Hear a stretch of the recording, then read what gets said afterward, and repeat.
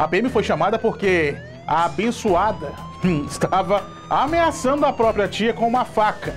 A PM esteve lá, conseguiu evitar algo mais grave.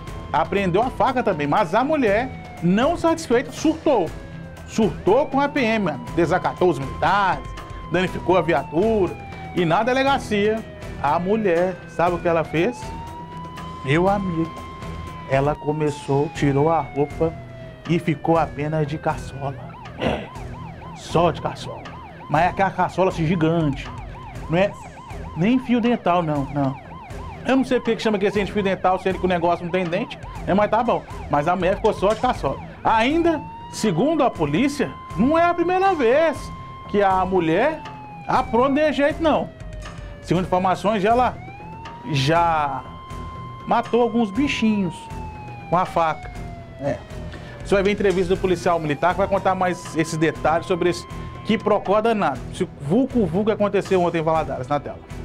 Acionados pelo Copom, a gente compareceu na Rua do Recreio, no bairro Mãe de Deus. A autora, fazendo uso de uma faca, queria é, agredir a tia dela. Então a gente conteve ela e trouxe ela para a delegacia.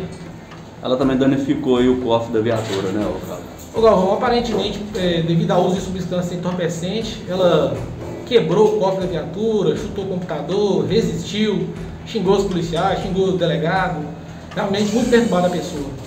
E essa tia dela relatou que essa é a primeira vez ou já teve mais vezes que, ela, que essa menina fez isso? O Galvão, infelizmente, várias vezes ela já praticou esse crime, inclusive matou animais da família, cães e gatos, com essa faca.